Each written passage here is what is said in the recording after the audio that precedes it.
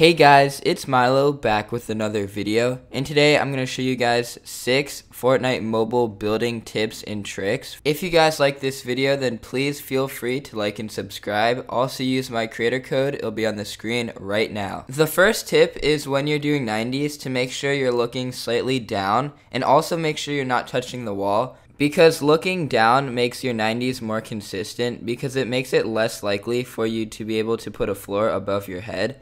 Also, touching the wall makes it so you lose momentum. So if you stay off of the wall, it makes it so you can go a lot faster and it makes it so you can get the high ground on your opponent. The second tip is if your enemy is right behind you in a build battle, you should do a 180 or a double 90 so then you can be facing them and be more prepared if they start firing at you.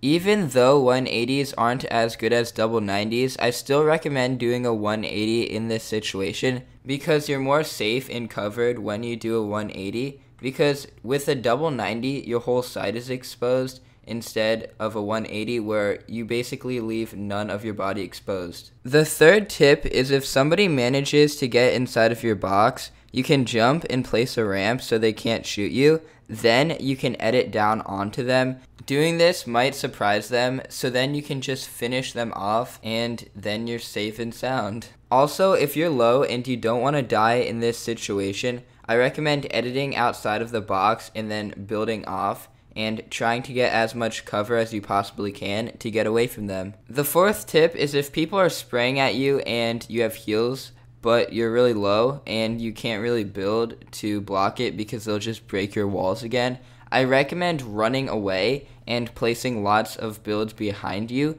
and then boxing up and placing a pyramid inside of your box, then going underneath the pyramid and trying to get the heals off. That will leave them wondering where you are and it'll also cause a good enough distraction to help you heal up enough.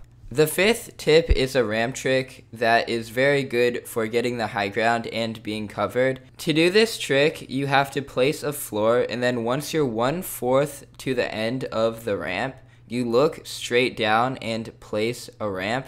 This will make a ramp go behind you and in front of you and then you can start tunneling and going for the high ground. I actually just did a little bit of research and this trick is not called tunneling. I don't know what it's called, so if you guys do know what it's called, then please comment it down below. Also, I really recommend you guys getting to learn this trick because it's very useful. Tip number six is if you're in a fight and you need to reload or you just need to get your thoughts together, you can place a wall in between your enemy and you and then once you reload or you just figure out what you're going to do, you can either edit the wall and shoot back, or you can place a ramp and start going for the high ground and then drop down on them and kill them.